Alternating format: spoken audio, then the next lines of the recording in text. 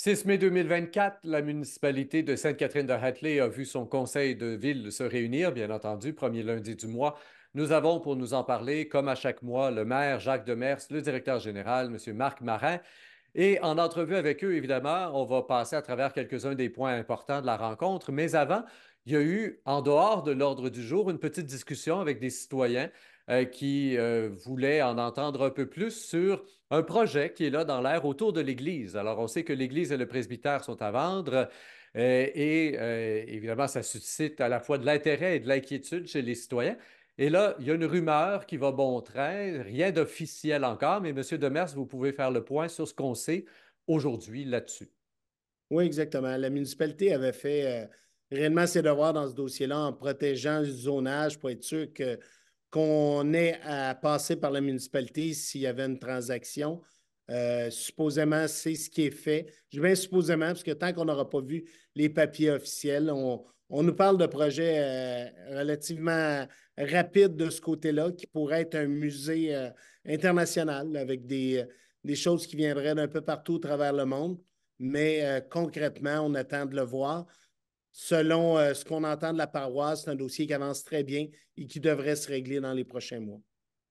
Très bien. Euh, est-ce qu'on sait après ça, euh, est-ce que la municipalité va avoir à valider quoi, quelque chose comme un plan d'affaires ou quelque chose? Parce que, veux, veux pas, en tout cas, dans ma tête, un musée, c'est pas la chose la plus rentable au monde, déjà dans les grandes villes. Alors, un musée de petite municipalité, je ne sais pas qu'est-ce que ça peut donner.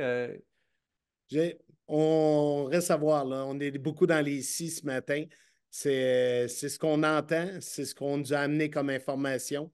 On reste à voir, mais pour l'instant, la municipalité n'est pas euh, du tout euh, du côté financier de ce dossier-là, étant donné que c'est une transaction privée et ce n'est pas à nous à regarder leur plan d'affaires de ce côté. On va maintenant regarder les points qui étaient à l'ordre du jour comme tel. Il y a deux adoptions de règlements d'emprunt qui sont reliés à des régies. Alors, tout d'abord, au niveau de la régie incendie, même Frémagogue Est, euh, on a un règlement d'emprunt euh, à cause d'une caserne, la caserne numéro 3, qui, euh, semble-t-il, est vétuste, peut-être même dangereuse.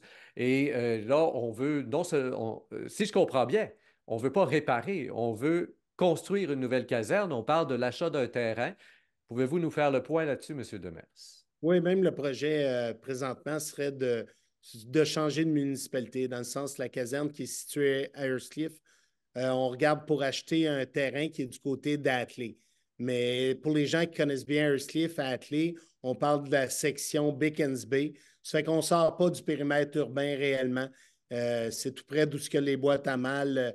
L'anciennement, il y avait un dépanneur à cet endroit-là. C'est même un petit peu plus près de la ville euh, Ça fait que pour les gens, ils vont avoir l'impression que ça reste dans Earthcliff, même si euh, au niveau euh, de l'adresse euh, civique, ça sera quand même au niveau d'Atley. C'est l'acquisition du terrain qui se ferait avec ce règlement d'emprunt-là et aussi les demandes de subvention qu'on cherche à aller pour, pour la caserne qui sera en route. Et donc là, euh, si je me souviens bien, euh, on parle d'un règlement d'emprunt d'à peu près 220 000 Ça, c'est pour l'acquisition du terrain seulement. Est-ce qu'on a déjà une idée de ce que ça coûterait que de construire après ça sur le terrain une nouvelle caserne?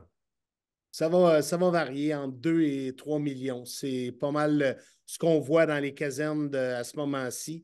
On veut voir si on est capable chercher des subventions quand on Stansted lors de la, de la construction de la caserne numéro 2 on a été chercher euh, tout près de 78 ou 80% en subvention, ce qui peut rendre le projet euh, réellement plus accessible. Adoption de règlement d'emprunt, comme je le disais aussi, pour la Régie intermunicipale de gestion des déchets solides de la région de Quaticook, dont vous êtes membre aussi. Euh, et donc là, c'est un sujet dont on avait déjà parlé un peu parce que c'était passé par la municipalité avant d'aller à la régie. Et, c'est euh, en vue de l'enfouissement, là. on manque de place. Exactement. On savait que ça viendrait, puis euh, on veut prévoir pour les 45, 50 prochaines années. Et j'espère franchement beaucoup plus. Euh, si on peut diminuer le volume qu'on enfouit, évidemment, on va, ça va durer plus loin. C'est sur une base de ce qu'on fait présentement, mais je pense qu'on va devoir s'améliorer collectivement de ce côté-là. Ça fait que c'est toute la démarche avec le BAP, les professionnels, l'étude du terrain. on a l'espace pour, voyons si ça sera autorisé. Mais ce n'est pas dans le but de, n'enfouir plus, c'est de regarder à long terme le besoin qu'on a pour la région, où ce qu'on parle de l'enfouissement d'environ 12 à 13 000 tonnes par année. Monsieur Marin, je me tourne vers vous pour les détails techniques. Dans un cas comme dans l'autre, avec l'incendie, avec les déchets, euh, évidemment, ce n'est pas cette Catherine de Hatley qui paye toute la facture. Hein. On est en proportionnel en fonction euh, des différentes ententes. Alors, pouvez-vous nous euh, dire, Monsieur Marin, quels sont les montants qui seront payés? Tout d'abord pour l'achat du terrain pour la future caserne et ensuite pour ce qui est de l'enfouissement des déchets pour le creusage de nouveaux sites? OK. Pour la, la, la, on parle l'achat du terrain de la caserne, mais la municipalité est participe environ à 19% On parle environ de 40, 41 000, 42 000 environ qu'on est responsable de cette dette-là.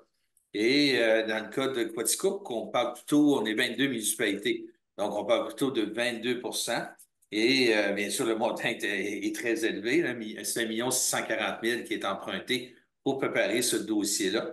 Donc, euh, pour Sainte-Catherine d'Athlée, on parle de 48 000 environ de, comme de quoi qu'on est responsable, mais toujours, c'est un estimé selon le volume à passer et on va payer sur le volume présent. Donc, euh, le passé n'est pas nécessairement garant de l'avenir. Donc, euh, comme M. Demers disait, on s'améliore. On est une des municipalités les plus performantes pour côté volume de déchets. Peut-être pour le règlement d'emprunt, juste de ramener, c'est 3% au niveau euh, des déchets euh, seulement qui est, Sainte-Catherine d'Athlée. Ça fait que c'est 3% mais on ne paie pas sur la base du pourcentage qu'on est. C'est vraiment basé sur les déchets qu'on va y enfouir. Mais pour le règlement d'emprunt, c'est ce qu'on va chercher. C'est-à-dire un 19% quand on parle d'incendie, mais seulement 3% quand on parle euh, du site d'enfouissement. Donc, si je comprends bien, si je comprends bien, pour l'incendie, dans le fond, c'est au prorata des municipalités, du nombre de maisons possiblement, puisque euh, c'est une couverture globale. Mais pour ce qui est de la régie des déchets, on paye en fonction du tonnage. Alors, on pourrait avoir plus de monde que dans une autre municipalité, mais payer moins si on produit moins de déchets, c'est ça? C'est ça. C'est la moyenne des trois dernières années qui est l'estimé. Mais comme euh, M. Demers disait, mais si on s'améliore, ça va être selon le réel qu'on va envoyer parce que c'est chargé au tonnage. Et dans un cas comme dans l'autre, est-ce qu'on parle de règlement d'emprunt sur 20, 25 ans, 15 ans? Euh? C'est 15 ans la régie. Euh, je pense, je m'en souviens plus par cœur, c'est entre 15 et 25 ans normalement. Très bien. Euh, on continue dans le domaine de la gestion des déchets. Il y a une entente, on en a déjà parlé, euh, entre la municipalité et EEQ. Et c'est en fait une nouvelle entité qui a été créée par le gouvernement du Québec. Euh, les municipalités du Québec n'ont plus le choix de faire affaire avec cette entreprise-là pour ce qui est du recyclage. Euh, et là, il y a une entente dans l'entente, finalement, que vous êtes en voie de signer avec l'entreprise en question. Oui, c'est ça. C'est que Éco-entreprise Québec, EEQ, euh, de partir du 1er janvier 2025, prend en charge 100% de tout le recyclage au Québec et euh, veut signer environ avec 200 organismes, dont la MRC de M. Magog.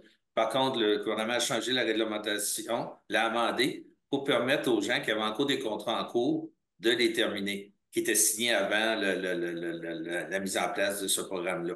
Donc, nous, il reste un an. Donc, on va signer directement avec Éco-entreprise Québec pour nous compenser pour l'année 2025. Et à partir de 2026, ben, on, va, on est déjà prévu d'embarquer avec la MRC de. Magog. Les autres vont faire affaire avec Éco-entreprise Québec. Une demande d'autorisation que vous avez reçue, ça concerne le 345 chemin du lac, un terrain qui a changé de main il n'y a pas si longtemps. Et puis là, je, je lisais tous les considérants que tout juste avant l'entrevue. Il y en a une page et demie. Et je ne suis pas sûr que j'ai bien compris, parce que ça passe par vous, ça passe par la CPTAQ, mais il y a, toutes sortes de, lots de grandeur, ça a l'air d'être scindé en deux, en trois. Mm.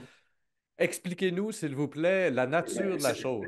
C'est bien simple. C'est que nous, on a vendu, la MTQ a changé la configuration de la route 108 et il y avait une partie qui passait entre les deux terrains de, sa propriétaire, de la propriétaire à qui ils ont demandé d'acheter ce terrain-là parce qu'en été, ils s'en servaient, mais qui était entre leurs deux terrains.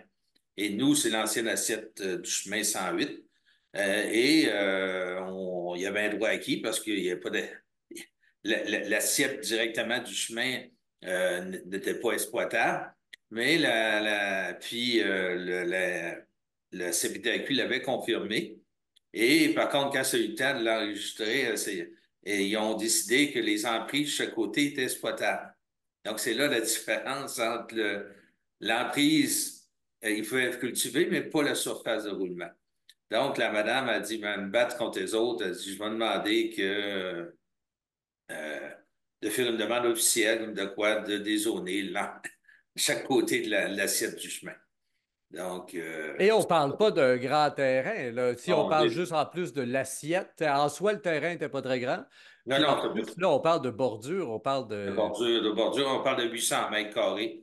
Euh, c'était 2800, il y avait 2000 environ pour le chemin, l'assiette du chemin, puis chaque côté, qui était l'emprise municipale ou l'emprise du, du, MTQ, on peut dire, à l'époque. Donc, euh, on parle d'environ 800 mètres carrés. Donc, c'est vraiment technique la dame a dit, ben, tant qu'elle me bat côté technique, je vais demander officiellement de dézoner ce 800 mètres. Là. Et le besoin de le faire dézoner pour elle, est-ce que c'est en vue de construire éventuellement quelque chose là-dessus ou si c'est pour en faire l'utilisation actuelle euh, qui est finalement, somme toute, assez simple, d'après ce que je comprends? L'assiette, euh, elle est séparée pas séparée en deux exactement, mais il y a une partie qui est, qui est euh, vis-à-vis une partie zone blanche, puis une partie vis-à-vis -vis de la zone verte. Donc, elle, euh, pour pouvoir rentrer sur sa zone blanche à partir d'un chemin public, elle n'aurait besoin de cette assiette-là. Euh, elle veut, je pense, faire des terrains pour ses enfants ou elle a des projets, mais nous, ça ne sert absolument à rien de garder cette assiette-là. Et de la vendre à quelqu'un d'autre, ben non. Euh, quelqu'un ça entre deux terrains. Donc, la dame a des projets, oui, peut-être, mais c'est juste que là, poignée côté un peu technique avec la CPTEC. Très bien. Et la municipalité donne son appui donc au hmm. projet de la dame et le dossier s'en va maintenant à la CPTAQ. Oui, oui, c'est ça. On termine en vrac avec les petites demandes d'aide financière des différents organismes. La municipalité a donné son aval, si je me souviens bien, à, toutes les demandes qu'on a reçues ce mois-ci. On parle du camp de jour Sainte-Catherine, euh, on parle du club de conservation du lac Massawipi et l'île du Marais. Donc, en vrac comme ça, vous pouvez euh, nous dire euh, les montants et ce à quoi ça va être dédié? Là? Oui, bien, il y a le, le, le, club Massawipi, tout ça, ça, ça c'est pêche, de Massawipi, conservation. Euh, eux autres, c'est pour ensemencer, puis pour initier les gens à la pêche. Donc, euh, chaque municipalité participe, c'est sur le lac Massawipi. Il y a le, marais. Euh, ça fait plusieurs années qu'on installe, on leur permet d'installer une toilette publique en les subventionnant durant l'été. On l'a fait l'hiver passé, puis on est de, de, regarder si on va le faire encore l'hiver prochain. Et le, le, camp de jour, qui est très important chez nous, l'imposition avait 85 enfants. On, confirmait la subvention à la fin de l'année, on l'a confirmé au début de l'année pour que les gens, nos citoyens, puissent en bénéficier rapidement de ce côté-là, au lieu d'attendre la fin d'année d'avoir le remboursement. Qui anime le camp de jour à Sainte-Catherine de Hatley? Est-ce que c'est un organisme local ou provincial, là, comme il y en a certains? C'est l'OBNL local qui est le, les loisirs de Sainte-Catherine. C'est un OBNL qui est complètement indépendant, mais très, très actif. Et on a un très, très beau camp de jour. Il est au camp Savio. C'est un coin. Euh, les, les, les n'arrêtent pas d'améliorer. Ils ont mis une patinoire avec des bancs fixes maintenant. Et euh, ils ont une piscine, ils ont le lac Magog. Ils ont, vraiment un coin là, vraiment bien de ce côté. Très bien. Monsieur Temer, je me tourne vers vous pour la conclusion. Euh, on finance aussi les activités de la place du marché à hauteur de 2000 dollars pour différentes activités pendant l'été. Ce qui est intéressant là-dedans, c'est de voir que le marché revient encore une fois. Euh, est-ce qu'il y a eu des bonifications autres là, pour le marché cette année? Bien, il y a eu un grand coup l'année passée, évidemment, avec les bâtisses et tout ça. Puis ce qu'on a décidé de faire, c'est le comité des loisirs, beaucoup euh, sur ce dossier-là, de ramener leur activité en même temps pour, que les deux activités se croisent.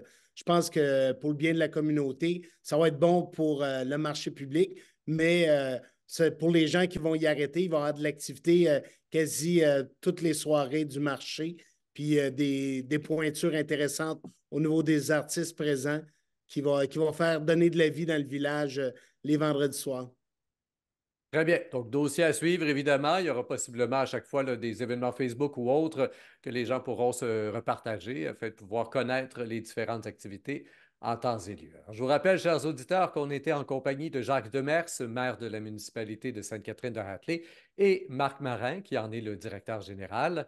C'est ce qui fait le tour du conseil de ville du mois de mai. Je vous invite, comme toujours, à partager l'entrevue sur Facebook, Twitter, autres réseaux, non plus Twitter, X et autres réseaux sociaux.